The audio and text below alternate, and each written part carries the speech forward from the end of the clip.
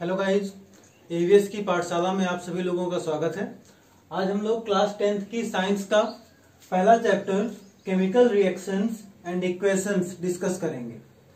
इस चैप्टर का जो सबसे पहला टॉपिक है, वो है केमिकल रिएक्शंस कौन सा? केमिकल रिएक्शंस अब जब ये टर्म हम सुनते हैं केमिकल रिएक्शन तो क्या आता है हमारे दिमाग में? आखिर एक केमिकल रिएक्शन क्या होती है? एक्चुअली अगर हम अपने चारों तरफ़ डेली लाइफ में देखें तो शायद केमिकल रिएक्शन के बिना हमारी लाइफ ही इनकम्प्लीट हमारी लाइफ के बहुत से मेजर पर्पज या जो मेजर वर्क्स हैं, वो सब के सब एक केमिकल रिएक्शन है। सबसे इंपॉर्टेंट जो केमिकल रिएक्शन हमारी लाइफ में होती है, वो है cooking of food and digestion of food खाना बनाना और उसका पचना, यानी cooking of food and digestion of food ये दोनों ही एक केमिकल रिएक्शन इसी तरह से हम अगर देखते हैं अपने एटमॉस्फेयर में चारों तरफ़ तो वहाँ पे हमको आयरन के बहुत सारे टुकड़े पड़े हुए मिल जाएँगे। कुछ टुकड़े होंगे जो इस स्पैचुला की तरह साइन कर रहे होंगे। अब देख रहे हैं कि ये आयरन है और ये क्या है? ये साइन कर रहा है। इसका सरफेस कैसा है? साइन कर रहा है। लेकिन उसी जगह पर ये एक पेयर ऑफ़ टंग है। ये सब लेबोरेटरी इक्विपमेंट्स हैं जो लैब में हम यूज़ करते हैं। ये पेयर ऑफ़ टंग है। अब इसके सरफेस को अगर हम ध्यान से देखें तो एक ब्राउन कलर की लेयर हमको इसके ऊपर दिख रही होगी।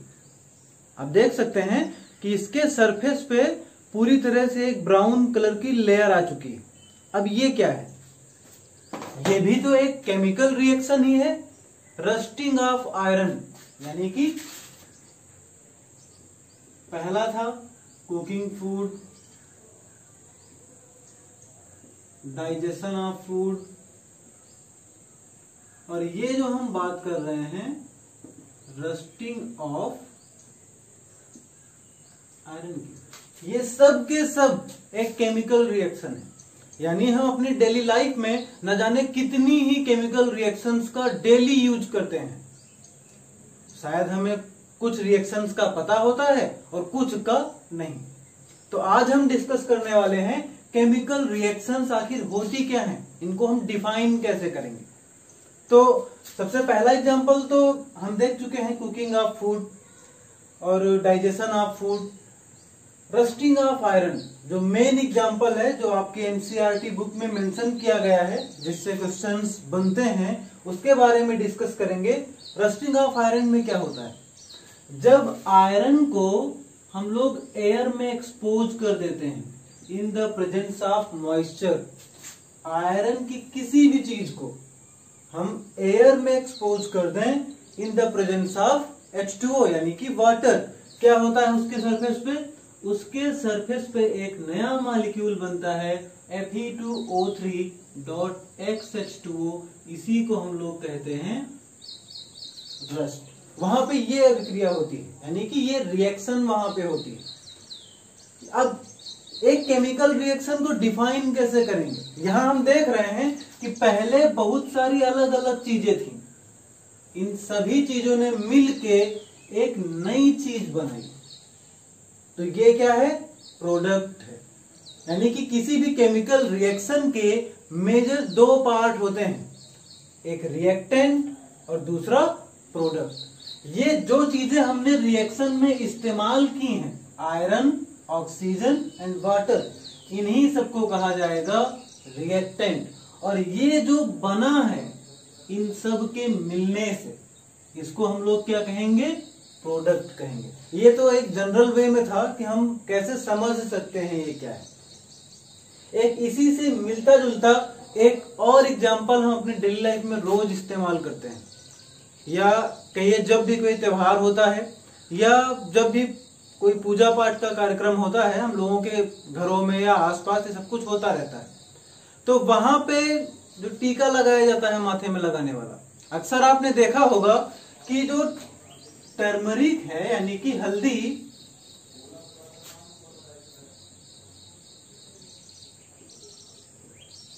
इसमें टर्मरिक पाउडर में हम लोग अगर थोड़ा सा लाइम वाटर ऐड कर दें, यानी कि चूने का पानी लाइम वाटर तो पहले इसका जो कलर होता है, वो क्या होता है? येलो होता है। और जब इसमें हम लाइम वाटर ऐड कर देते हैं तो इसका कलर कैसा हो जाता है? एंड करने के बाद इसका कलर रेडिश हो जाता है। इसमें भी एक रिएक्शन ही हो रही है। टर्मरिक में एक इंग्रेडिएंट पाया जाता है।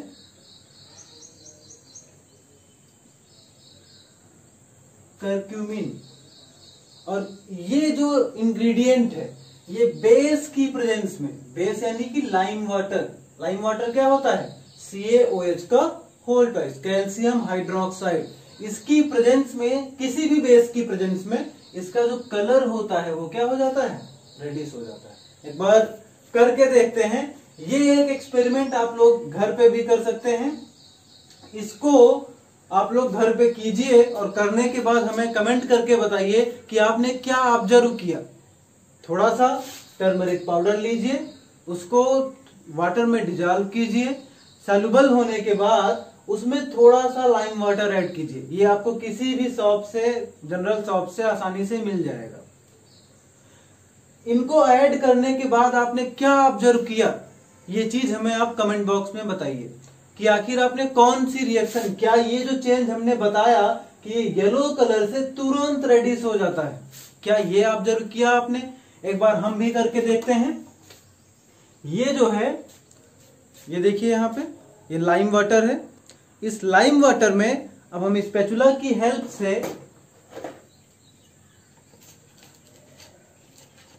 थोड़ा सा टर्मरिक पाउडर ऐड करेंगे। आप देख सकते हैं।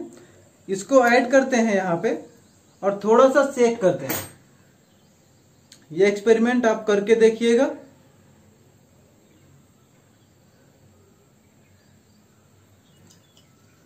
इसको थोड़ी देर सेक करते रहे अगर हम तो धीरे धीरे इसका जो कलर होगा, देख रहे हैं आप येलो से चेंज होना स्टार्ट हो गया है ये। और इसको सेक करेंगे। देखिए, इसको थोड़ी देर सेक करते रहे अगर हम तो आप यहाँ पे देख सकते हैं कि इसका जो कलर है, वो क्या, थोड़ा सा रेडिश होना स्टार्ट हो गया है। अगर इसी को हम थोड़ी देर अप्रोक्सीमेट फाइव मिनट के लिए रख दें तो उसके बाद इसका जो कलर होगा वो पूरी तरह से रेडिश हो जाएगा। तो इसको हम पाँच मिनट के लिए रख देते हैं और आगे बढ़ते हैं। अब अगर हम एक केमिकल रिएक्शन को डिफाइन करें तो डेफिनेशन क्या देंगे? डेफिनेशन के लिए हमको ये चीज़ पता होनी चाहिए कि आखिर एक केमिकल रिएक्शन क्या है। तो हम बता चुके हैं कि जब दो इंग्रेडिएंट्स यानी कि दो सब्सटेंस या दो कंपाउंड आपस में मिल रहे हैं तो एक नए कंपाउंड का फॉर्मेशन हो रहा है। अगर हमारे दिमाग में केमिकल रिएक्शन सुनने के बाद ये सेंटेंस आता है कि when two substances combine to each other बस यहाँ तक अगर हम सोचते हैं कि उनका कॉम्बिनेशन होना ही एक केमिकल रिएक्शन है तो नहीं। अगर हम थोड़ा सा वाटर लें और उसमें सैंड ऐड करें तो क्या ये एक केमिकल रिएक्शन है? नहीं है, क्योंकि वहाँ पे कोई चेंज नहीं हो रहा है। वो बस आपस में मिल गए हैं, वो मिक्सचर फॉर्मेशन होगा। तो अगर हम एक केमिकल रिएक्शन की बात करते हैं तो केमिकल रिएक्शन में क्या ज़रूरी है? कि जब दो सब्सटेंस आपस में कंबाइन हो substance A and substance B दोनों की ही अलग अलग प्रॉपर्टीज़ होंगी। और जब ये कंबाइन हो तो एक नया कंपाउंड फॉर्म होना चाहिए, जिसकी जो प्रॉपर्टीज़ हो, वो इन दोनों से टोटली क्या हो? डिफरेंट हो। यानी कि हमारी केमिकल रिएक्शन का जो, इसकी जो डेफिनेशन होगी, क्या होगी? A process in which two or more substance combine with each other to form a new substance with new properties is known as chemical reaction a process in which two substances combine with each other to form a new substance with new properties is known as chemical reaction. अब एक example देखते हैं अभी तक हम लोग daily life के example discuss कर रहे थे अब हम लोग देखते हैं, जो आपकी बुक में एग्जाम्पल्स दिए गए हैं, उनमें से एक, अगर हम लोग बेरियम क्लोराइड सोल्यूशन को बेरियम क्लोराइड सोल्यूशन को अगर ऐड करते हैं सोडियम कार्बोनेट में,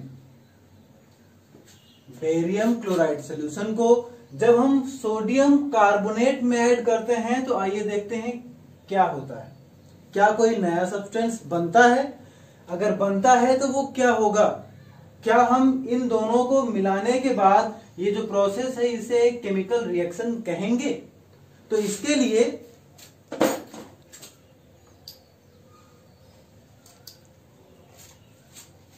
ये एक टेस्ट ट्यूब में हमने क्या लिया हुआ है? सोडियम कार्बोनेट सोल्यूशन इस टेस्ट ट्यूब में हमने सोडियम कार्बोनेट सोल्यूशन ले रखा है।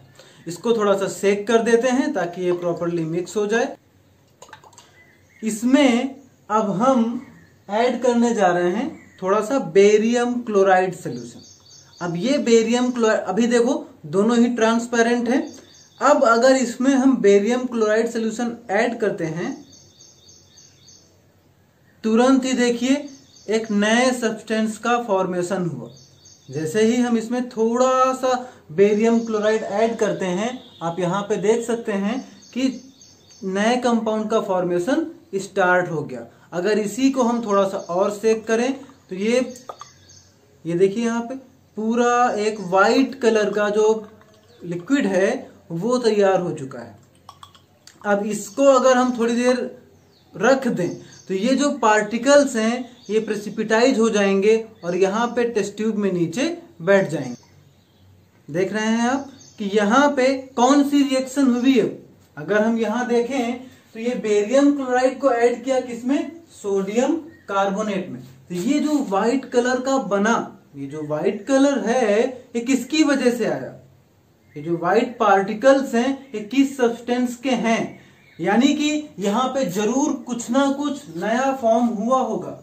कोई नया कंपाउंड फॉर्म हुआ है डिफरेंट प्रॉपर्टीज़ के साथ में। कैसे?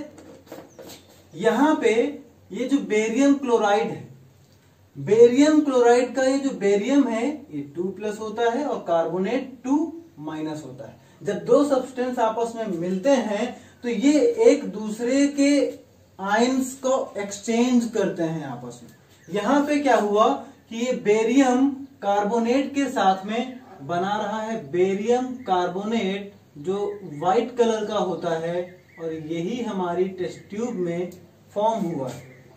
और ये जो सोडियम है, ये सोल्यूशन में ही रहेगा। सोडियम क्लोराइड के फॉर्म में Na और Cl मिलके आपस में क्या बना रहे हैं? टू NaCl यानी कि जब बेरियम क्लोराइड और सोडियम कार्बोनेट आपस में रिएक्ट करते हैं तो ये बेरियम जो है, ये CO3 के साथ में क्या करता है? बेरियम कार्बोनेट बनाता है, जिसका प्रेसिपिटेट अभी बना। और ये जो सोडियम और क्लोरीन है, ये आपस में मिलके NaCl फॉर्म करते हैं, जो वही सोल्यूशन में प्रेजेंट रहता है। तो देख रहे हैं हम यहाँ पे कि दो सब्सटेंस दो सब्सटेंस आपस में मिलके एक बिल्कुल ही नया सब्सटेंस फॉर्म कर रहे हैं। तो इसी प्रोसेस को कहा जाता है केमिकल रिएक्शन तो अब इस रिएक्शन को जो अभी हमने कराया है, एक बार फिर से देख लेते हैं क्या किया हमने यहाँ पे। एक टेस्ट ट्यूब में सोडियम कार्बोनेट लिया था और इसी में क्या ऐड किया था?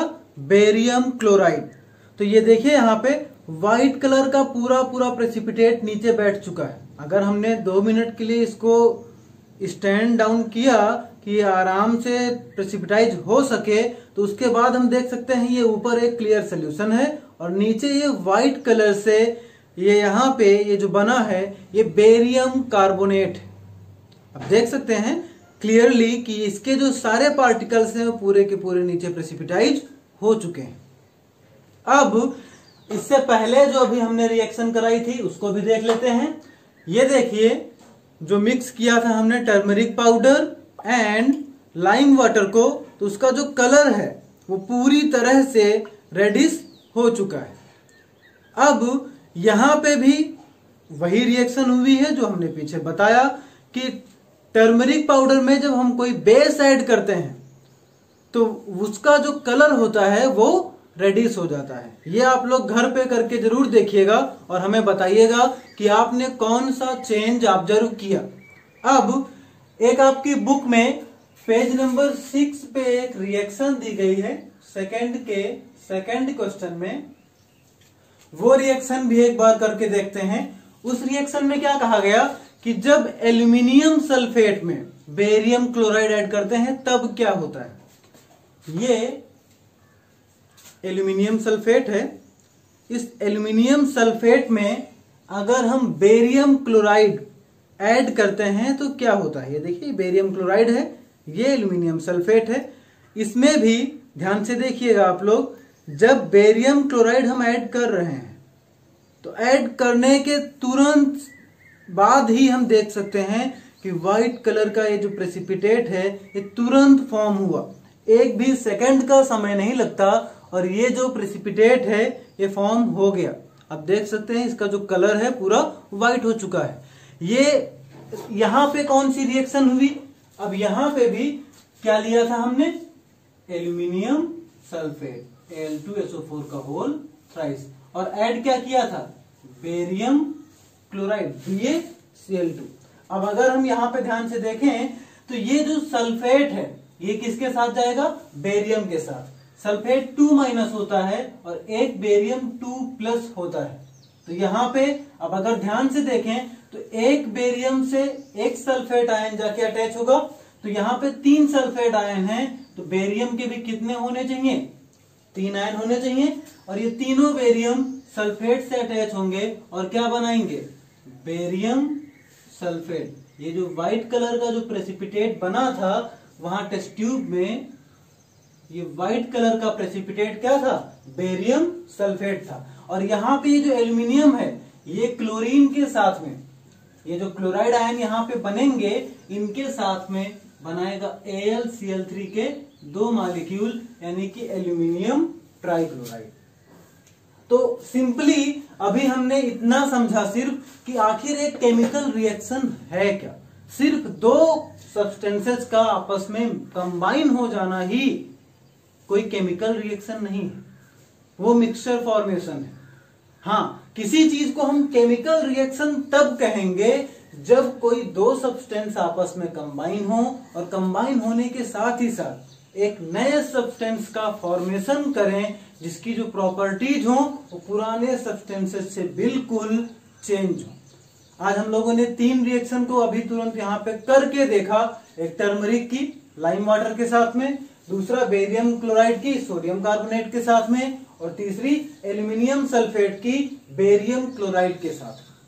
ये जो रिएक्शन है, ये आपके पेज नंबर सिक्स पे क्वेश्चन नंबर टू जो है, उसका सेकेंड पार्ट है। और ये उसकी बैलेंस्ड इक्वेशन है। अभी इनके बारे में हम आगे भी डिस्कस करेंगे।